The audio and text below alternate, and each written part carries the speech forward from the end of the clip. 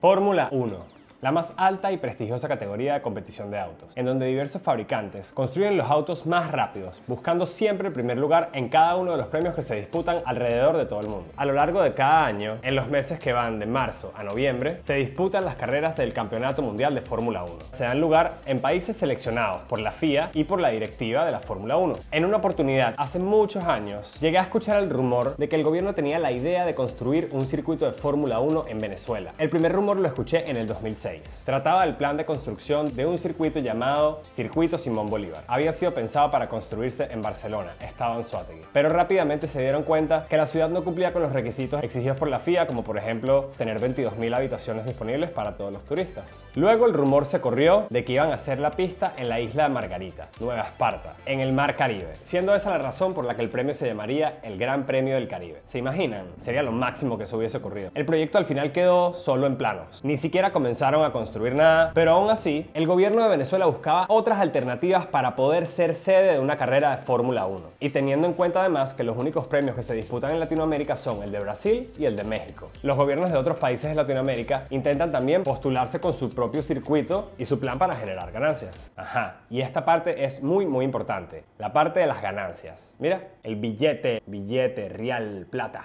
Todos sabemos que la Fórmula 1 es un negocio multi multimillonario, con dinero al frente de cada decisión que se toma. Y este año la Fórmula 1 anunció que añadirían más carreras al calendario anual del 2023, como por ejemplo Las Vegas. Organizar un premio de Fórmula 1 representa una inversión de dinero gigantesca. Se tiene que construir toda una infraestructura que fácilmente puede sobrepasar los 250 millones de dólares. En algunos casos, mucho más. Todo depende del lugar donde se dispute la carrera y también depende si estás construyendo un circuito permanente o si el circuito son calles de la misma ciudad adaptadas y modificadas para la carrera, que aunque ustedes no lo crean, en algunos casos es muchísimo más costoso que construir el circuito desde cero. Además de los gastos de infraestructura, se necesita pagar mil y un cosas más, como papeleo, trámites, rentar las gradas, rentar los baños, cosas tan pequeñas como rentar los extintores. Los extintores tienen que estar en la pista a cada 15 metros uno de otro. Si la pista mide 7 kilómetros, saquen la cuenta de cuántos extintores tienen que tener. Además de los costes extras como las grúas que sacan a los carros cuando tienen algún accidente. Y además, también también para obtener el permiso final de la Fórmula 1 se necesita pagar dinero.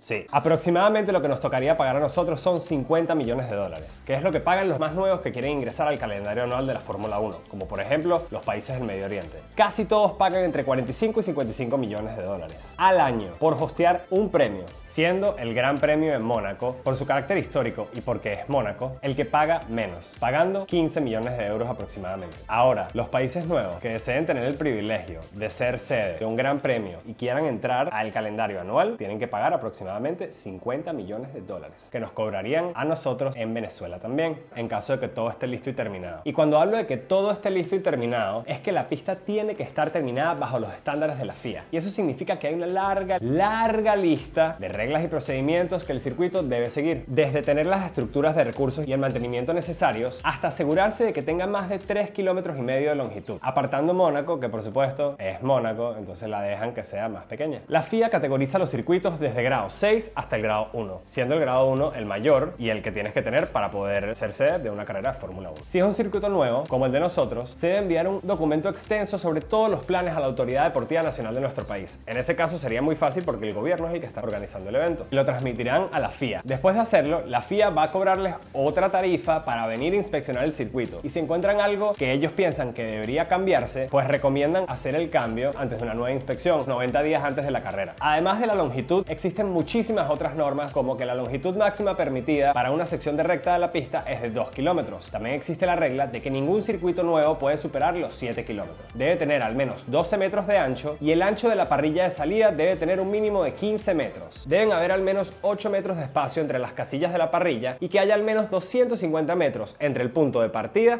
y la primera curva, en donde la pendiente no puede exceder el 2%. Ya ven que la cosa se está poniendo un poquito compleja. No es que, no, construye eso ahí ya, mira, ¡eh! Pon aquí la pista. No. En el año 2012 escuché el segundo rumor del gobierno de Venezuela queriendo ser anfitrión de un premio de Fórmula 1. En ese año salió la noticia de que existían planes de construir un circuito en Caracas, justamente en la base militar aérea La Carlota, que queda en el medio de la ciudad. Y si les digo la verdad, miren, yo de solo pensar la posibilidad de un premio de Fórmula 1 en La Carlota, se me erizan los pelos. O sea, sería lo máximo, pero bueno, primero hay que ver si realmente sería posible esto antes de soñarla tanto. Los planos presentados de La Carlota supuestamente cumplían con todos los requerimientos de la FIA, lo cual yo pongo en duda, ya que las noticias hablaban de una inversión inicial de 23 millones de euros, que 23 millones de euros no es nada para lo que en realidad se debe invertir para un gran premio de Fórmula 1. Me parece una cifra bastante pequeña, pero la verdad es que los planos existen, el proyecto existió alguna vez y lo que queda de eso es el sueño de que algún día sea posible, para agarrar el metro, te bajas en Altamira, caminas dos cuadras, llegaste al premio de Fórmula 1. ¿Qué?